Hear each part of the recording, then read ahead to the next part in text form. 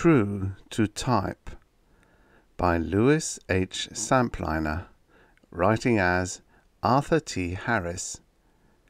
Originally published in Fantastic Universe, October 1954. Narrated by Tom Trussel. Pascal Halmer had a superficial talent, and he was smart. You'd never find him rewriting a theme that had appeared, say, five or ten years before, in a popular monthly. He was too smart for that. But Halmer would haunt the second-hand magazine stalls and buy a pile of fiction publications published ten to twenty years ago. Then, back in his dingy furnished room, he'd uncork a bottle of cheap brandy, roll a smoke, and settle back to read. Presently he would chuckle, rip out the sheets he had read, and do some pencil work on them. Then he'd seat himself before me and begin typing the pilfered plot, twisting it about in such a fashion that plagiarism would be extremely difficult to prove. He'd change the locale, the sequence of events, all the names, retaining only the plot gimmick, the essence of the story. Now, I am not trying to pose a moral issue, for under the deft fingers of Pascal Halmer I had, for the first time in my life, the feeling of creativeness, of originality of thought, aim, and purpose. Of course, I too was a fraud, but I told myself nobody knew our secret and we entertained just as many readers as the more creative writers in the business.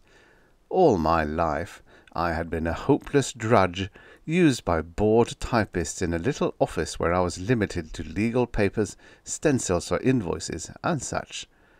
Now I contributed to the pleasure of thousands of eager readers of escape fiction. Late in middle age, I had found my niche in the creative world. Thus, it was that my personality began to undergo a change. I came to think of myself as a colleague of Pascal Halmer, and his friend, his confidant. Did I not acquire certain proprietary rights? You can understand, then, how shocked I became when Halmer first began to neglect me. Little things, but they hurt. An instance was the afternoon when he came home with a brand new FM radio receiver. Before long, he became so absorbed in his recorded classics that he forgot to oil me, to change my ribbon, to put on my cover when he'd typed out 30 at the end of a story. I sulked. My keys began to stick. My ribbon grew smudgy and faded. But Halmer paid me no heed until he received a humorous little note from an editor one day. Your yarns are tops, he read aloud, but reading them has made me wear trifocals. With a muttered oath, Halmer left our attic studio, returned with typewriter oil, a type brush, a new ribbon. But he didn't do this for love of me. He did it only to keep his editor happy, and that hurt. Naturally, my morale was affected.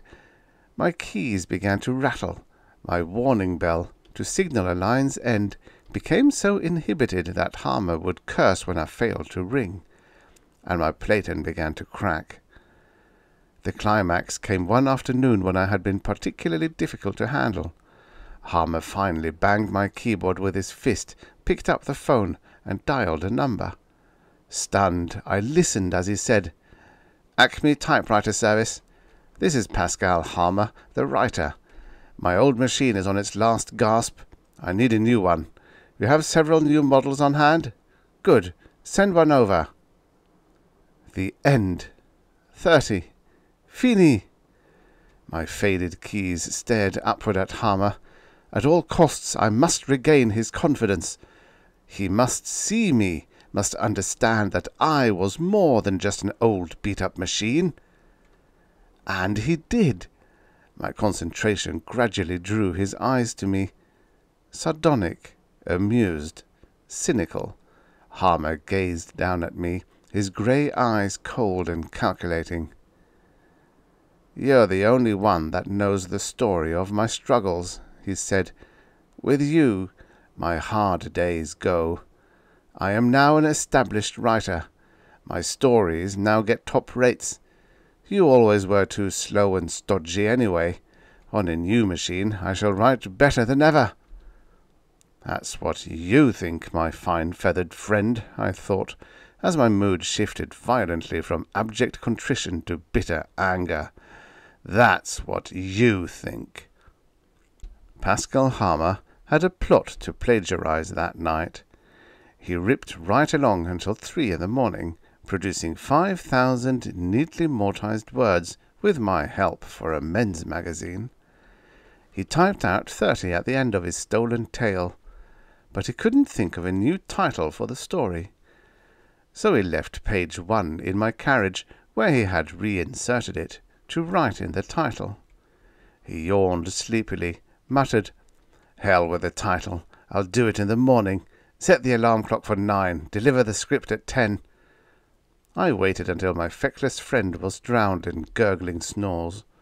Then, taking a grip on my nerves, I steeled myself to perform an independent act such as I had never before dared to attempt.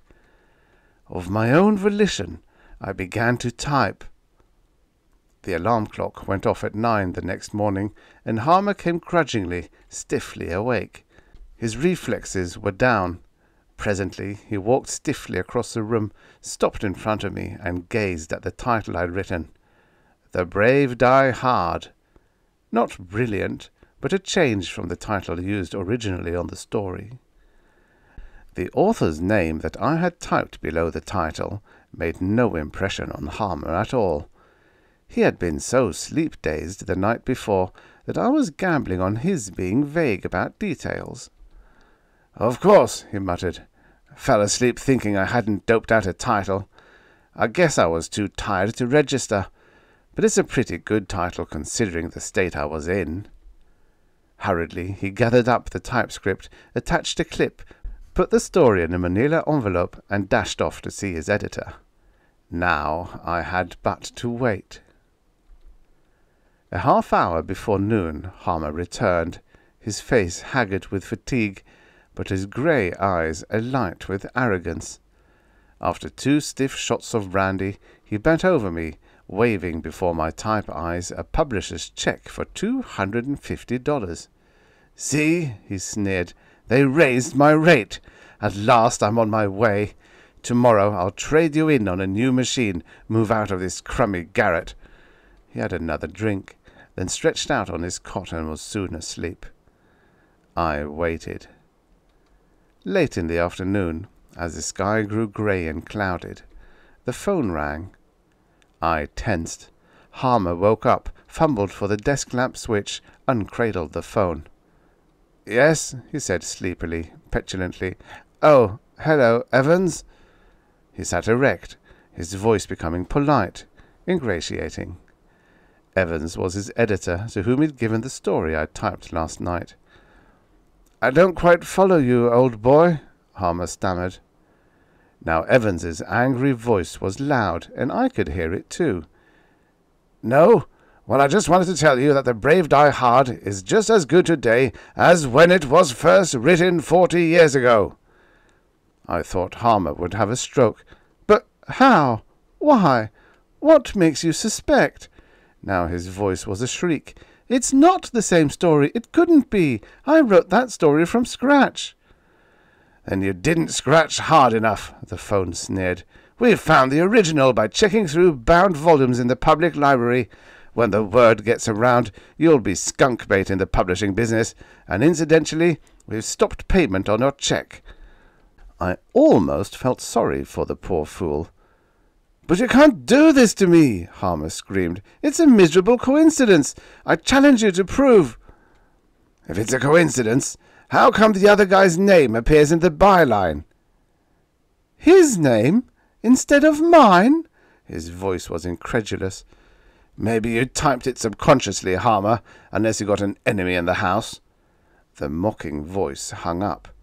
Like a sleepwalker, Halmer cradled the phone. He stared at the check, still propped up on the desk where he'd left it. Suddenly he lunged for it, tore it to bits, flung the pieces on the floor. Then he threw himself on his bed and beat his fists against the wall. Wait till he gets over the first shock, I thought. Wait till he begins to think.